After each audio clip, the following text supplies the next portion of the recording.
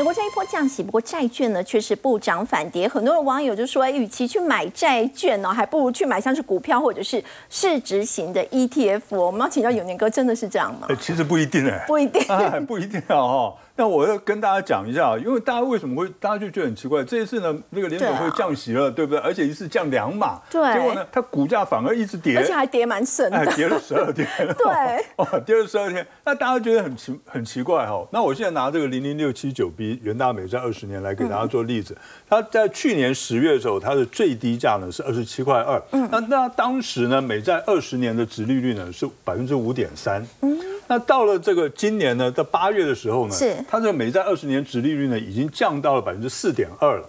那意思呢，就是说它自动降息了，已经降息了一点百分之一点一了。嗯，那百分之一点一什么意思呢？就是呢，它的这个价格哈，它的价格反应是怎么样？就是二十七点二呢，我们说乘了一大堆啊，然后呢，它的合理价格是在三十二点八八。那你知道它最高来了多少吗？三十二点四四。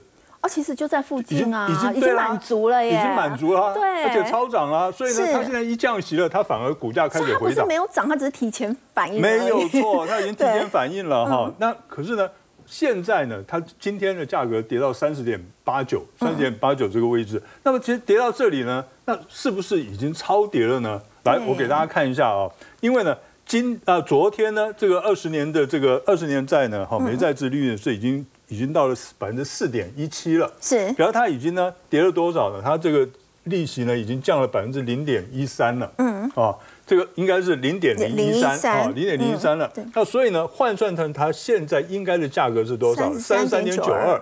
那现在今天价格才三十点八九，那是超跌了，超跌了，没有错哈。那么，所以这个时候反而不应该赶快去卖，而是要赶快加嘛。对呀，应该要进场了嘛，是不是哈？因为长期的观点来讲，应该要进场。那为什么应该进场呢？因为我们还是在看以后。因为鲍尔呢，昨天晚上有讲了一句话，就是说他我不会激进的降息，可是我还是会持续的降息。等于降息它还是一个趋势。它的目标的是中性的利率，中性利率是多少呢？大概是百分之三左右。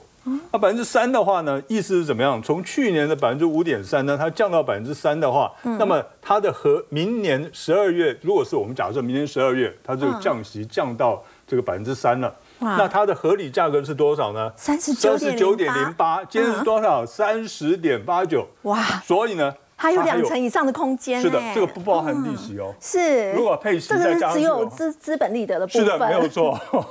好，我们先休息一下，稍后来看到员工请病假，但是因为请的人数太多了，竟然呢，这个公司还派人到家里去调查，到底怎么回事？我们稍后来关心。